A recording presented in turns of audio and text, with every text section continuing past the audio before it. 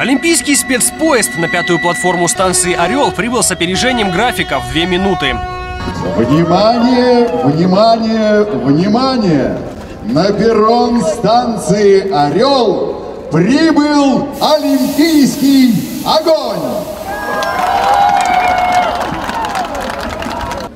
На перроне хранителей огня встречали глава региона и сити-менеджер. Внизу на привокзальной площади собралось около тысячи горожан.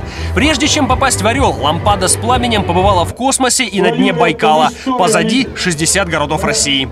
Мы много дней готовились к этому замечательному празднику.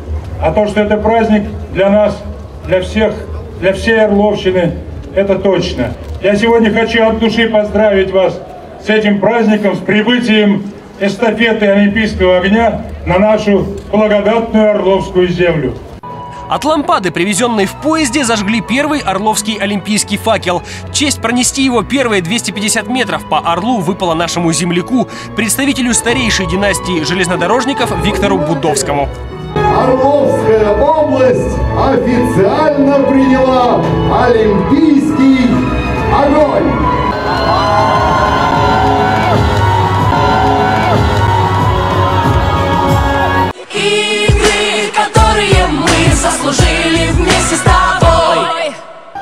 За день до начала эстафеты оргкомитет заявил, что чиновников среди факелоносцев нет.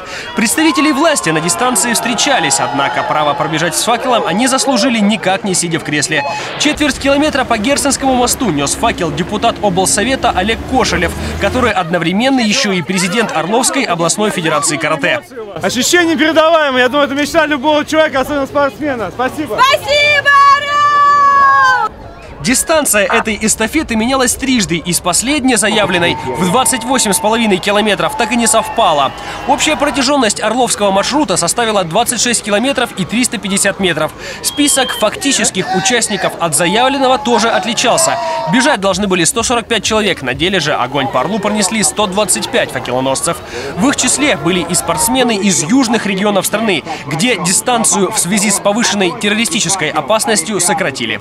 Эстафета прошла удачно. Э, достаточно много народа вышло.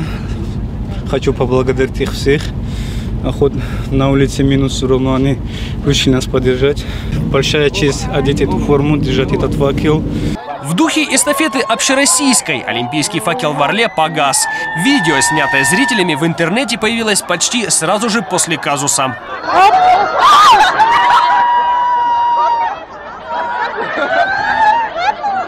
Впрочем, ажиотажа в интернет-сообществе новость не вызвала.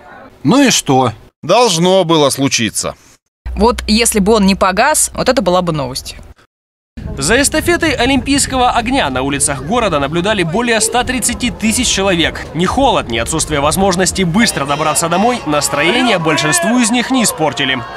Не проблема. Ну, все-таки праздник, понимаем. Вот такой настрой хороший, э, патриотически настроенные. Замерзли, настроение праздничное. Очень замерзли. Но очень здорово, очень весело. Давно стоим, ждем, уже гоняемся по всему городу в разных точках. Эстафета Олимпийского огня была в самом разгаре, когда на главной площади города начался праздничный концерт. Действо собрало около 20 тысяч жителей. Огонь на площадь везли на бобслейных санях, а почетным правом зажечь олимпийскую чашу удостоили Валентину Тихомирову, которая первоначально прочили на роль встречающей огонь на вокзале. Участница двух Олимпийских игр и чемпионка мира по легкой атлетике, она уже зажигала чашу в далеком 80-м. Помогал именитой спортсменке глава региона. Я очень горда тем, что мне вот в моем возрасте, я все-таки уже солидный человек, а вспомнила молодость, и мне прибавилось еще много лет жизни. Из Орла Олимпийский огонь отправился в Брянск. Перед тем, как зажечь Олимпийскую чашу в Сочи, ему предстоит еще побывать в 20 городах России.